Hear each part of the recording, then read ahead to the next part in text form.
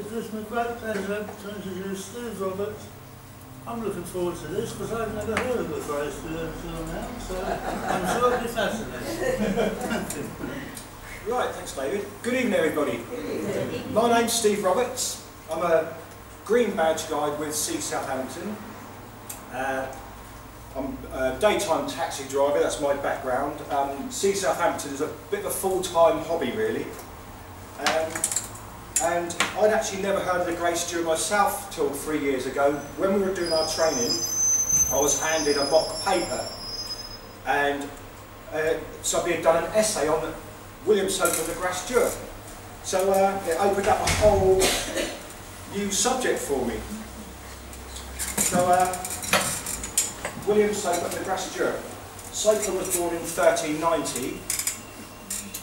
Uh, he was born in Winchester, came to Southampton, oh, thanks very much, came to Southampton at the age of 20 and is not quite sure how he became uh,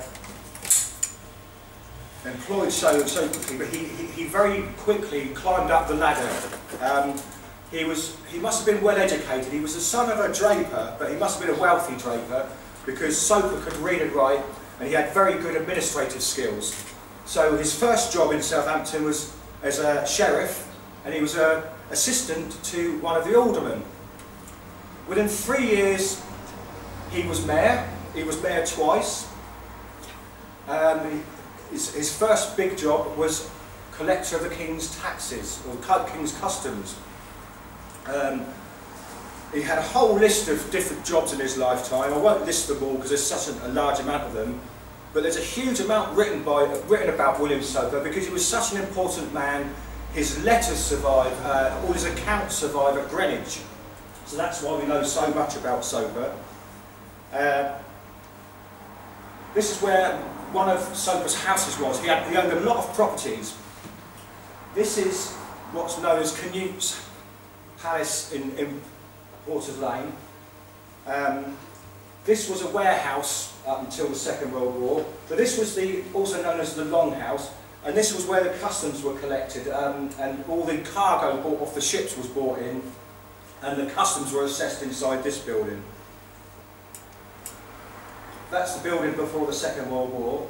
Uh, that, this is uh, this is a building in the uh, 1800s rather. This is from Sir Henry Englefield's uh, book, uh, uh, a, walk through Southampton, and he was a chap who wrongly named it Canute's Palace because we now know that King Canute was a 400 years earlier, so it had nothing to do with Canute. It's known as Canute Palace.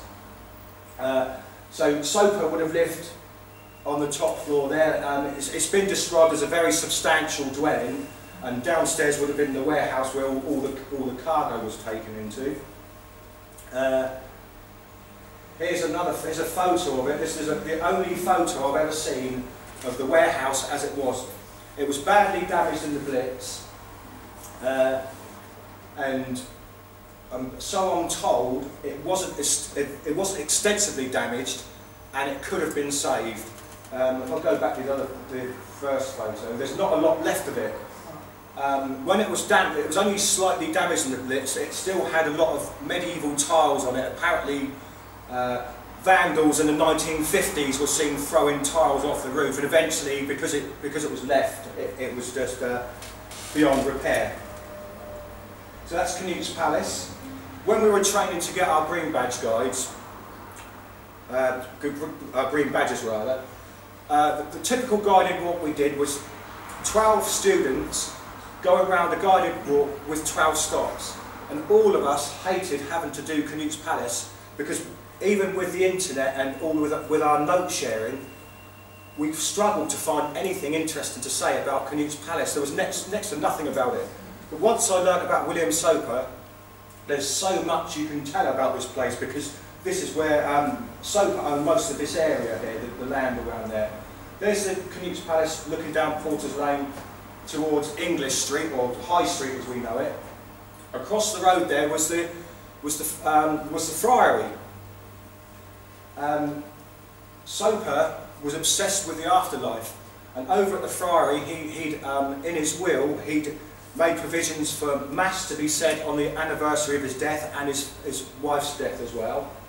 Um, he also gave, he was a very generous man, he gave them, a, a, he built a couple of shops for the friars, there were a couple of houses he gave to them as well as almshouses. Uh, he also owned a property up in All Saints Ward, which I think he lived in later on. And he also owned the Watergate. This is another place. This is where I think is he had another substantial property known as Isabel's Cellar, which I think was possibly this plot at the bottom of, High Street on the corner of Porter's Lane. Um, I do know that there was a, um, a, house, a very substantial house owned by Winchester College there in the 1600s, which may have been the same house. So that's a lot of um, bits of uh, properties. Here's the, the site of the Watergate.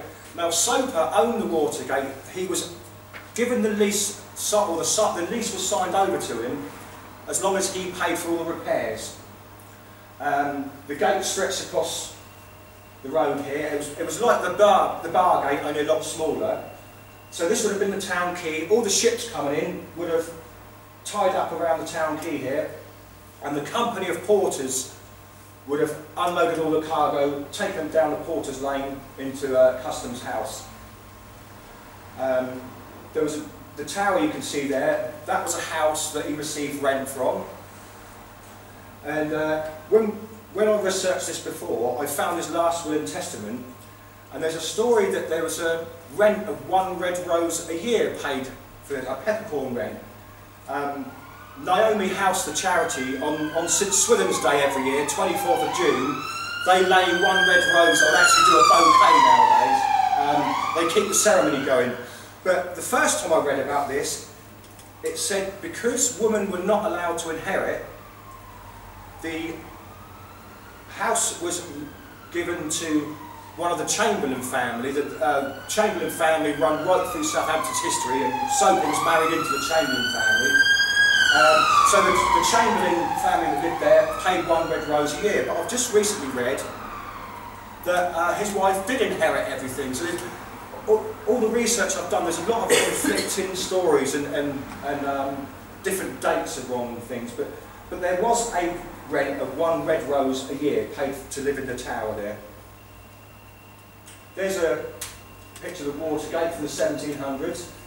So as you can, you can see the tower there, there was the gate going across the road. And also at one time it had um, stone plinths with wooden lions on them, just like up at the Bargate. But I've never seen an image of that. And in fact, there's only, I've only ever seen four images of the Watergate. There's another one, that's from 1772, that one. Very similar one. And there's a player's silhouette card from the early 20th century. And there's one other image that, didn't blow up properly, but it's strange that um, all the landmarks in Southampton, such as the Watergate and the Bargate and St Michael's, all been pictured thousands and thousands of times. Um, drawings and sketches and paintings, but just four images of the, of the uh, Watergate exist. This was knocked down in 1804 at the height of Southampton's Spa Town period to let the traffic through.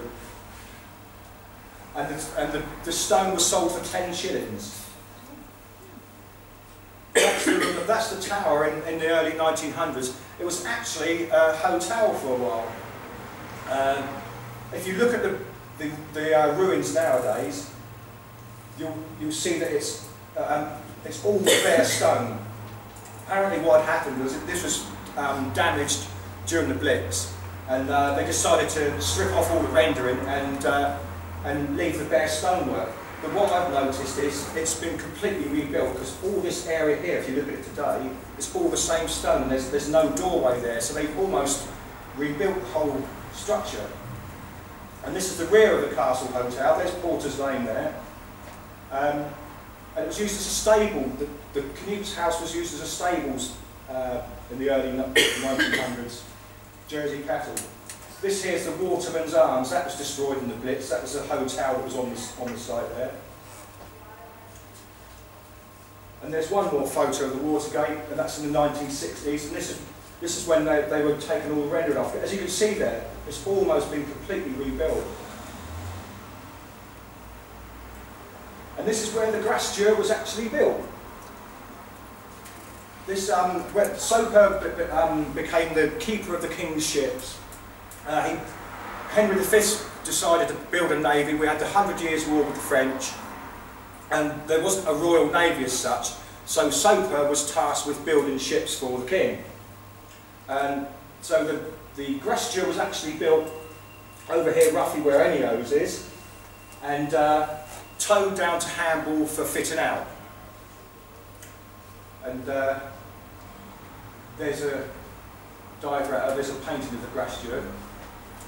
The forecastle was 50 foot high, very high for the time. It was a huge ship, and um, it only ever went on one voyage.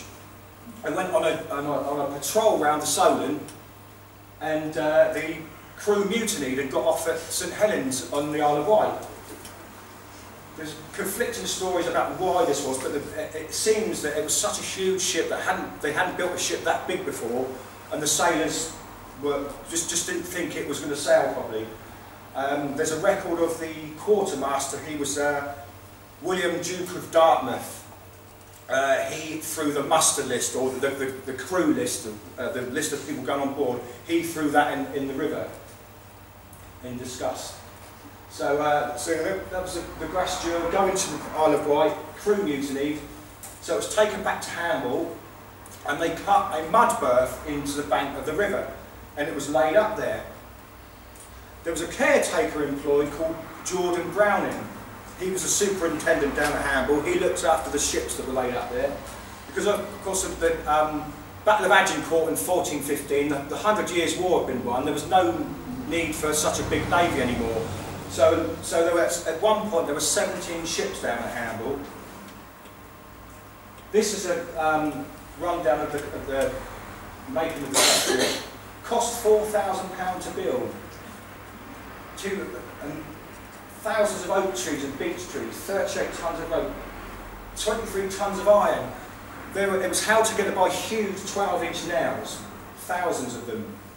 24 anchors, and the largest anchor was 17 feet tall, the Marie Tinctor. But I also read that that was the anchor of the Holy Ghost, which is another one of the, the king's ships that's um, up at Hamble. This is where I took this photo at Oyster Key in Hamble. All my research said it was that there was a tower built by Soper, a wooden tower at Oyster Key. But I've since learned it was Oyster Hard, which is at the mouth of the river. Um, they had an iron chain across the river to stop the French and Genoese ships coming in. Uh, the wooden tower was there to protect the, the uh, entrance to the river. They actually found part of the chain in the 1920s apparently. I don't know- what happened to it, but they, they did find part of the chain there. Um, so this, this is where all the, all the um, ships were bought. This was a major naval base in Henry V's time, Hamble. Now, I mentioned that the, um, the, the ship going on the patrol came back again. It was put in the berth there. But also nearby was the Holy Ghost. It was another large ship built by Henry V, uh, for, for Henry V.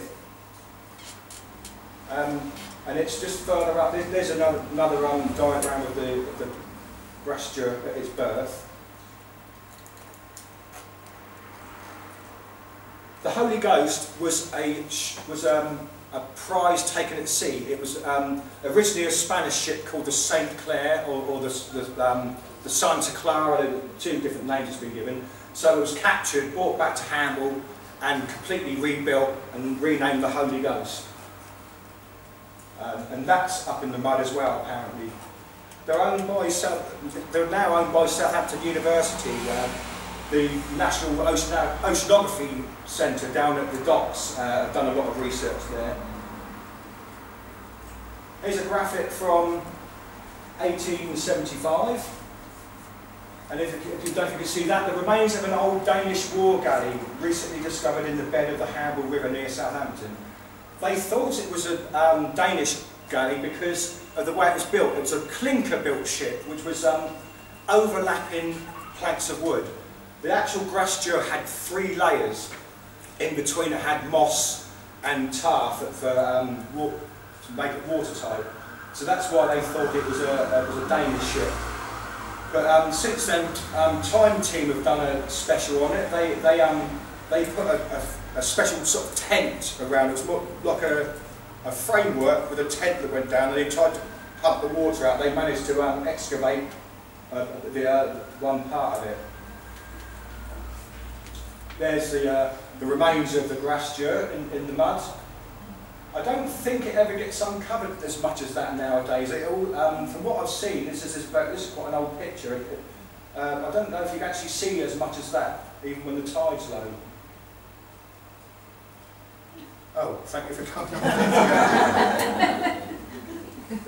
that went through very quick, I'm, I'm sure. Print on notes because uh,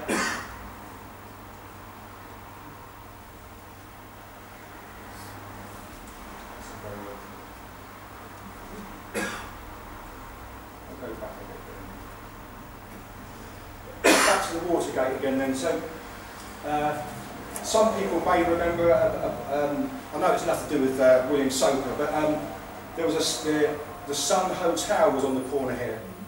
And when it was destroyed in the Blitz, there is a story that the Canadian soldiers that um, drank, in the pub uh, actually rebuilt the pub overnight. So that's what, if anyone remembers, there's a one-story wooden building there for many years. That was uh, built by the Canadians. Uh, I'm really sorry about this. I had this all. I've only been doing about 20 minutes, haven't I?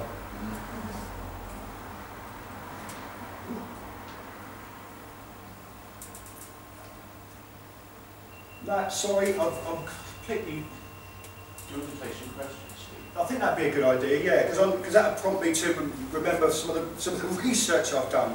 I've got bullet points there, but I've... Yeah, so have anybody got any questions? Was there any general, general sort of views on it when it was first built? Because it was a very large ship, very impressive. Yeah, it was, it was um, it was the largest ship ever built at the time, and, and, and there wasn't another ship as big as that for 200 years. So, uh, so that, yeah, so, um, yeah. So she wouldn't have had cannon, I believe. But, um, they, some of, some of Henry V's ships did have cannon. I, I'm, I can't remember if, they, if the Grace Dieu did. I know one or two of the, um, other, I think the Holy Ghost might have done. They, they were just, uh, they had bombards that one or two of them had. But generally they were, um, I think it was, a, they, I think the Grace Dieu had 200 arches on it. So that would have been the reason for the high The reason for the, the high forecastle was for, for, for, for the archers, yeah.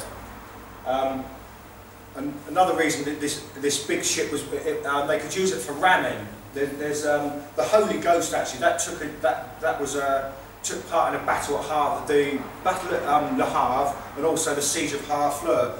And um, they would ram each other. Um, and, they, and of course they would then board, they've got grappling hooks, they would, they would board each other's ships. Um, so they would ram, they, they would ram each other, they, they would um, go up alongside each other, but, but they only had one or two guns, some of them. Yeah, any, any more? Any, got one over there? So, I mean, they're now in the mud of the Hamble, so once the Grace Dieu had had its one outing, was it just abandoned? It was, yes, I'm glad you've asked that question because that did prompt me to remember something really important. Um, it was left there for 20, it was about 20 years it was laid up for. They didn't have any use for it. And as I mentioned before about the, the, the superintendent, Jordan Browning, he lived on board the ship and uh, after it had been there about 20 years, one night it was struck by lightning and there were three other ships alongside it that um, they didn't burn, but the Grace Dieu burnt down to the waterline. And that's, what, that's why we've got the, uh, just the, the um, hull of it left, because it, it was burnt down to the waterline. And the rumour is that it was Jordan Brown who set the thing alight himself, because he'd stolen everything that was worth stolen off the ship, uh, stealing off the ship. So, uh, yeah, um, he could have been hacking away around the nails, pulling out one, one or two nails every time. So um, in 20 years of pinching everything, there wasn't a lot left. So it's said that he possibly set the thing alight himself to um, cover his tracks. And what about the, the? Was it that's there as well. And that's there as well, yeah. I, I, I, I think that was just, just left there and eventually it, it, it just sank in the mud and it had been rotting away. So, uh, and that, that was only recently discovered in the, uh, in the 60s, I think the Holy Ghost was discovered. The, the Grace Dieu was, was discovered, uh, well, 1875 was that print there. Yeah. Another question? I know you said that the muster roll was thrown overboard, but what sort of numbers were the crew, Um, roughly? I think, I'm sure it was 200 archers. The, the crew itself, I'm, I'm, I can't remember the number of crew. Um, no, I'm sorry, I, I can't remember the actual number. Lots? But um, it, the, the ship is about twice the size of other ships of that period. So, so it, yeah, you're thinking about twice the size of a normal crew. Um, and another thing is I've, ne- I've never found out what happened to the crew after they mutinied, because normally you'd be, you'd be, you'd be strung up for, for um, mutinying on a ship, but um, perhaps they let them get away with it because it's such a dangerous ship, they thought, well, we, we, um, we, we, probably agree with them. Stability? I think it's because it was, we, we had the same thing, um, hundreds of years later we had the, um, the Mary Rose and we had the Vasa in Sweden, exactly the same thing. They were large ships, they hadn't been sailed before, and on their maiden voyage they sank. So um, it could have been because it was such a large, large ship, they, they just didn't think it would sail, they, they thought it would topple over. As, no, as nothing had been built like that before. This great enterprise by William Soper came to a pre-sale end. What happened to him? He uh, he carried on af- after um, he still carried on as, as customs officer. He spent a fortune building these ships. As he was keeper of the king's ships, uh, he had to pay out himself first, and um, a lot of these these wealthy merchants that were um, obliged to build ships for the king or, or provide men. It was all out of their own pocket, and they would eventually get some of it back, or all of it back. Um, Soper got a lot of his money back through being customs collector of the king, uh, king's customs at Customs House there. So he did get some of his money back. Um, he did write to the king. Uh, it would, would have been years after the Grace Dieu was, was there. Um, he wanted to be relieved of his duties of keeper of the king's ships because it was costing him too much money. And his excuse was that he wanted to go on a pilgrimage to Lombardy before he was too old, so couldn't be excused from, from uh, his royal duties. But they wouldn't let him off, so, so he had to carry on doing it. But um, yeah, it actually cost him a fortune to do to build all these ships. Um, and he he um, had I mentioned before about his properties. He was a verger of the New Forest, so he, he owned a lodge in the New Forest.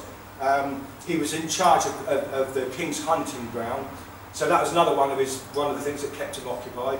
And he bought properties all over the place. Um, so um, I just talked to chap Brian just now, who's done a recent talk on the Grace Dieu. Um, there was a there was a, um, a place name that I couldn't find anywhere. What, what, what was it again? Newtonberry. Newtonberry. I couldn't find anything about this Newtonberry where he had a property. And Brian was saying that um, it's actually between Marchwood and Eling. Because he did have, yeah, he had a place in Eling, he had a place near Dibden, which I think was his hunting lodge. Um, yeah, and, and, he, and he had this place at, uh, uh, what was it again? Newtonberry. Newtonberry. Newtonberry, yeah. He could look over the water. yeah. He actually look over the water that time. He hadn't chosen. yeah. And that's where we, we actually we think he retired to Newtonberry. The reason is because he had permission to put a chapel in the building. The only way you can get a permission to put a chapel in the building is from the Pope. So my current line of research is to try and find out where the records are from the church, to find out where the or- oratory was. So we can prove that, we can prove that. Yeah. And I don't know if I've mentioned it before, but he was actually actually buried at the Friary in, in, in English Street. And I, I, um, I know that when they excavated to build uh, Friary House with um, British Telecom buildings there, I know they found some bodies, but I've no idea if one of them was William Soper. So perhaps they've got William Soper's body somewhere. But that, that was where, where he was buried anyway, yeah. Uh, any more questions? Yeah. Also- Also related to the New Forest, um, I can understand Buckler's Hard building large ships there, it's a nice bit of open space. Yeah. Where was the space available Well, the- Sell them to right up. Yeah, just just against the quayside. Um, Well, there, yeah, yeah. Yeah. And I think they um once the ships started getting bigger, I know that, that um, the ships were getting too big to build here, so it's only the smaller ships. So even though the Grace Dieu was big, it, it's still quite small compared to the, the, the, um, the ships later on. So I know they, they built ships at, um, in Northam on the Itchen for a while, but as the ships got bigger, I was saying with Buckler's Hard, I think, wasn't it? They stopped building there once they were too big for the river. Yeah, so. so, so that, any other questions, anybody? How, how do they know that um, they are specifically the Holy Ghost grass? Ah. Um, the Grace Dieu they are certain of because of the sheer size of it and because there are so many records, s- um, Soper's records were so detailed, all, all his, um, he was an administrator, so he was meticulous with his records and most of them survive. Um, so they just know because of the sheer size of it, it has to be the Grace Dieu. Um, as for the Holy Ghost, um, I presume the same thing, they've got enough evidence. I can enlighten you on that. Right. From Ian Free on Saturday, he said they've done a recent survey last year. They've done a, um, a sort of scope scan of the area with these quite complicated piece of machinery. Uh, but the results are not issued yet. He doesn't know what they came up with. This is all done by what um, Steve said about the Oceanographic. It's owned by the, the um, Southampton University, and the Oceanographic Centre is part of university, the university, so they've done the survey. I can't get, and they are not available. So yes, it, it may be, but we won't know until later this Yeah. year. This is ground penetrating, penetrating radar. It, yeah, but it's sonar type ground Yeah. penetrating. I don't quite know. We've lost the signal. One, Oh, Yeah. Okay. yeah. What So, was the purpose of the, you say it had a three-layered um, um, skin to the hull. What was the purpose of that then? Because you said there was moss between it? yeah, the, the, normally the clinker-built ships were just one. You'd, you'd have one like that, layered after another. The Grace Dieu, they, they built the hull first um, with three, um, three planks at a time, so it was a thickness of three, the moss and the um, tar in between to make it watertight. And then once they had the hull made, inside they built a framework. Um, they chose some of the trees they, they, they would um, choose Y-shaped trees and, and carve them out and they'd get slightly bigger so that, that was the um, framework inside the hole um, and as I had on the list there, I think it was uh, I think each tree was one and a half tons that they, they, they cut there and was it altogether it was about 4,000 trees to build the whole thing So it would be quite a labour-intensive task. Do?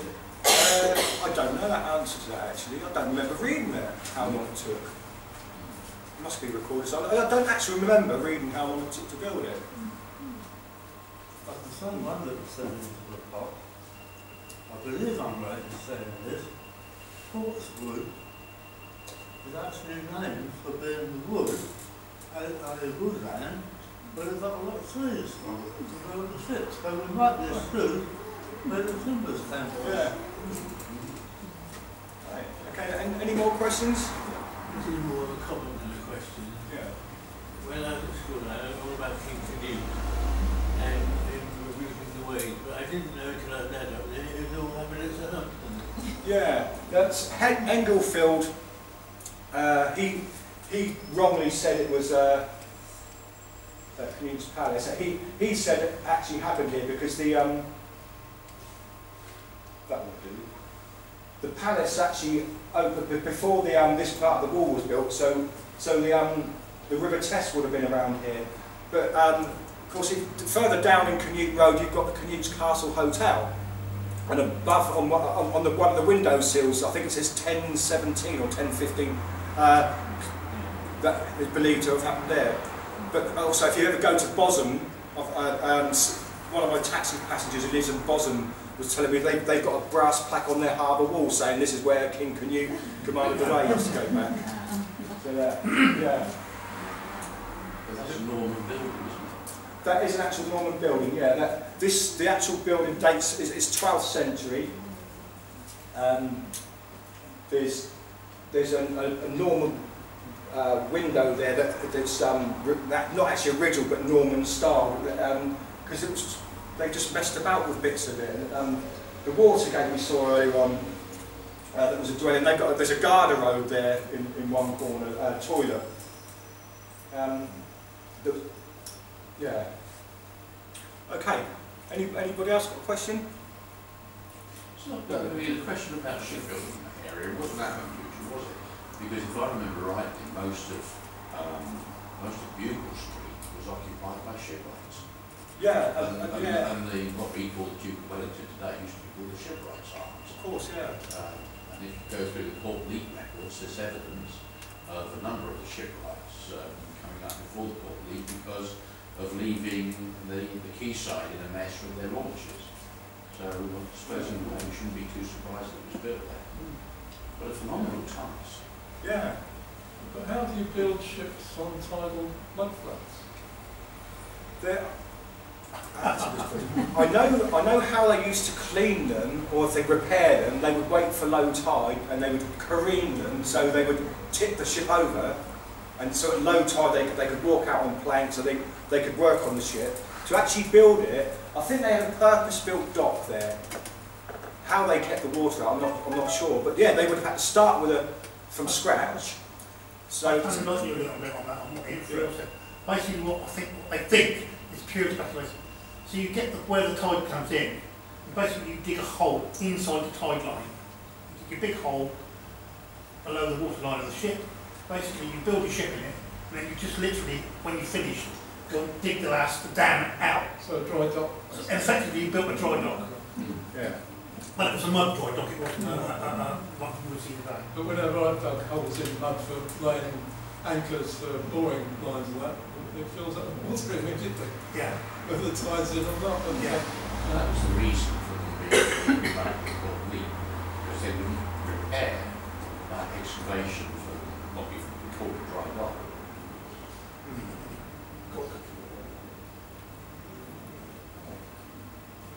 Wasn't the Watergate where the canal came through? Uh, No, that, that was further down at um, God's House Tower. Oh, down on Yeah, um, if you actually, if you ever look at God's House Tower, you can actually see the remains or the, the bricked up part where, where the tunnel used to go underneath. Yeah, so it would, because it was uh, for me, yeah, it was for me Eling, wasn't it? Um, the, the canal came, so it would have come down, and uh, that's what. Yeah, it was on, on the east side of the wall, outside the wall on, on the east side. Yeah, right. And anybody else? Else? You mentioned the Friary. Tell something about the Friary? Yeah, the, the, um, the Friary that was um, that was um, dissolved by Henry VIII. Um, they they were there. They were they were um, the people that brought in running water to Southampton. Um, if any of you seen the conduit house outside the Mayflower, or opposite the Mayflower Theatre, um, it pumped water down from the spring in Hill Lane and they had pipes running all the, all the way into the town. Um, and there was one or two conduit houses in, in the town. There was one, one near Holyrood Church. So the friars brought in fresh water to the town. Um, they, they were friars and not monks, so they used to come out into the town. Um, they did a lot of charity work. They, they ran God's House Tower. That they, that, that, that they ran the hospital at uh, God's House. Um, and uh, they, they were there for a few hundred years. Uh, when, when the monasteries were dissolved, they ended, um, I don't know how long the monastery, dis, the friary just um, lasted for, but I know they, they ended up with a, a sugar factory or sugar refinery on top of them. So um, I don't know uh, what happened to the uh, friary building itself, but um, they built the um, British Telecom. Uh, it's not there anymore. It's, it's now um, the, the doctor's surgery has been rebuilt again. But uh, British Telecom built all over there, so they've, they've extensively ex ex excavated the whole area. Um, I mentioned before about um, William Soper being buried there, and there were several other graves. But there's, uh, there's nothing left of it now because they've built over the top of it. St Julian's Church, what uh, relationship is that to the Friary? Um, orig- that was the um, the original medieval church was there before before the um, the Huguenots. It ended up as the French church eventually, um, but originally that was the um, church attached to the friary there, um, dating back to uh, 1100s, so if, if I remember rightly. Um, the remains, the, the, the, the, the foundations are all 1100s, but the rest of it was rebuilt. I've, I've read a reference that was rebuilt in the early 1800s. So the church we see today is almost completely rebuilt, but that the original church was on that side. But it was the church for Friary. That's right, yeah. There's been a relatively recent uh, archaeological dig on the Friary site, which should be written up by now. All right. Should be interesting, yeah. Yeah, because they've been doing a lot more work around there recently again, haven't they? Yeah, prior to new building. Yeah. Okay. Supply of wood for ships is something always fascinated me, particularly you were saying there, it wasn't just oak that was used in construction. Um, the, my family name comes from charcoal burners from the Weald of Sussex.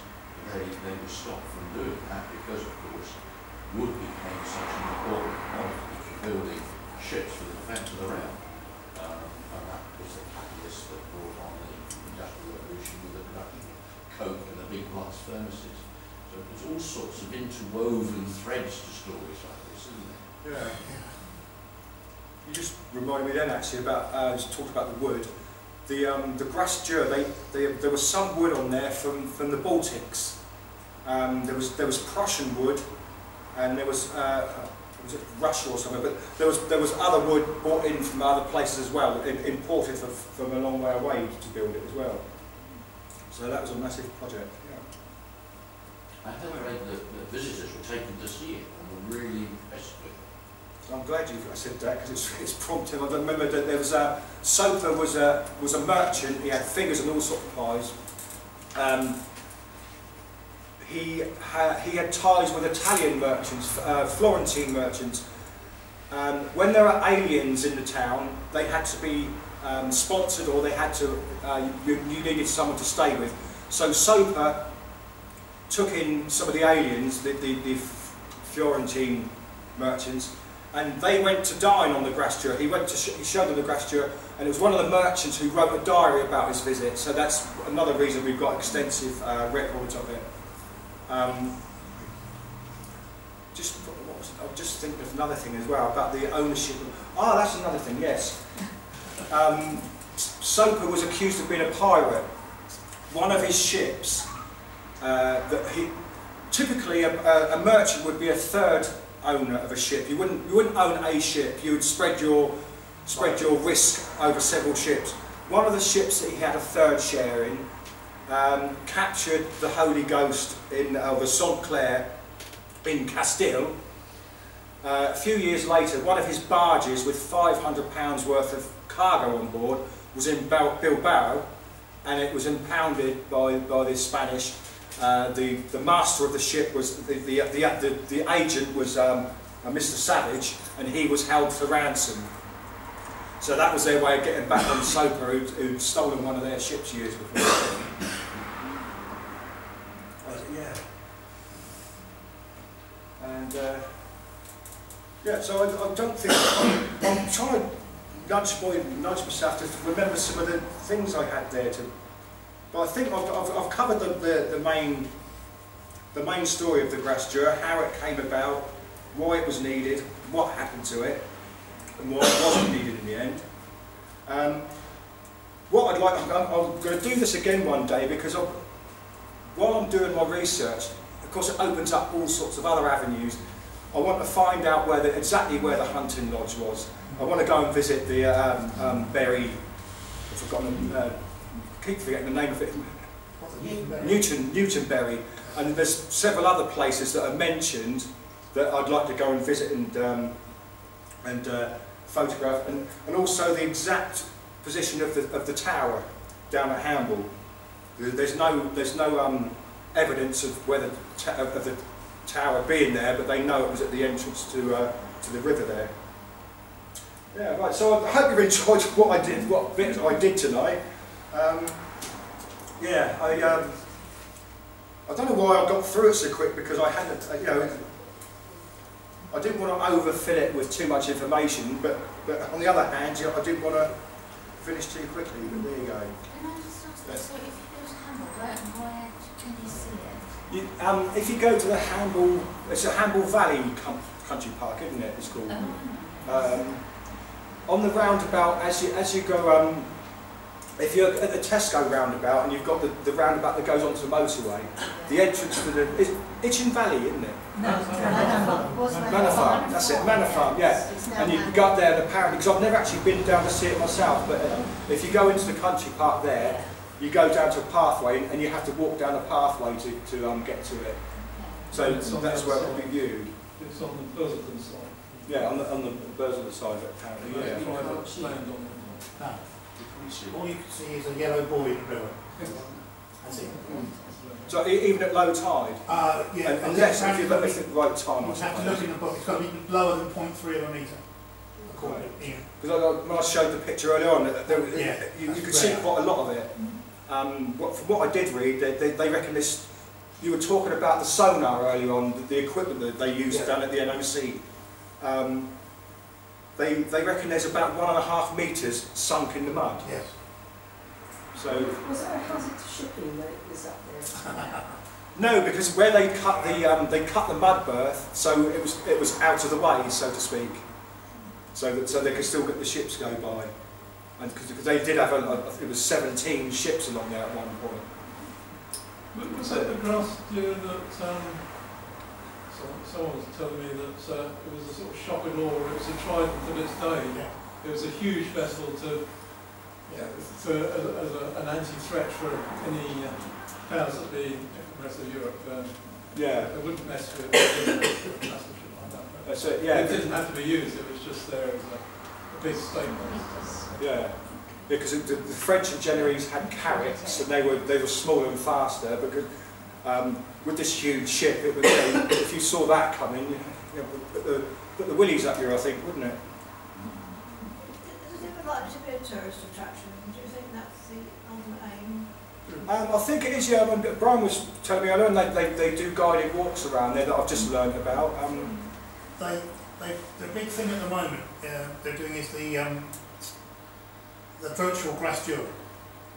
They're, they're putting a computer program together where you can actually lo- log onto an internet site and it will show you the Grace Dieu and then you can be able to fly around it. They're doing all this at the moment, so look out eventually for, for virtual Grace Dieu tool. That, that was unveiled last weekend at the medieval weekend at the um, two-day effort event yeah, there. so here, yeah. But who owns the land that on, on the Bursledon side? Because you can't get on that side as far as I know. No, I, I don't- don't know about that. Sorry, Yeah, I don't know. There's a public walk up there. You can walk up there. yeah. It's actually a criminal offence to walk on the site for the Grace Dieu. Yes. Oh, right, because it's all Although technical side. University paid a nominal one pound for it, because all this legal stuff attached to it. It's, uh, Something, something like a war grave, it's, it's that sort of um, illegal attachment to the site. Right, So you can't go digging around, just poking around, Yeah. you need be prosecuted or something. It's equivalent to grade two listed.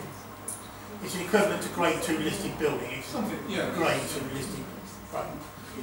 the sheer weight size wise of the Mary Uh, no, the Grace Dieu was 200 feet long, I think it was.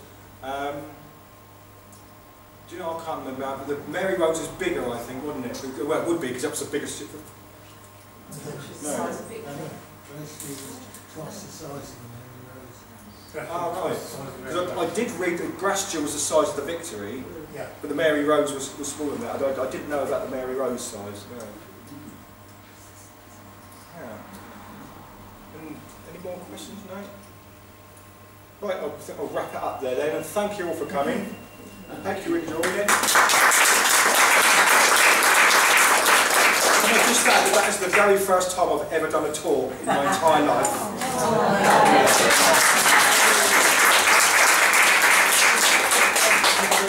I should have done that first. I'm going to drink. Yeah, I just started first.